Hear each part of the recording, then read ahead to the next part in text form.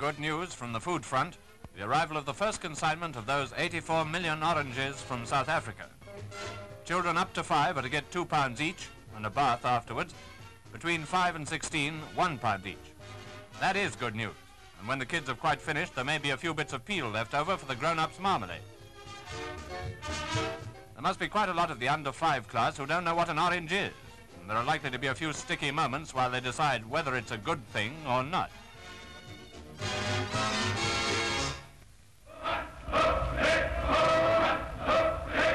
Anything new?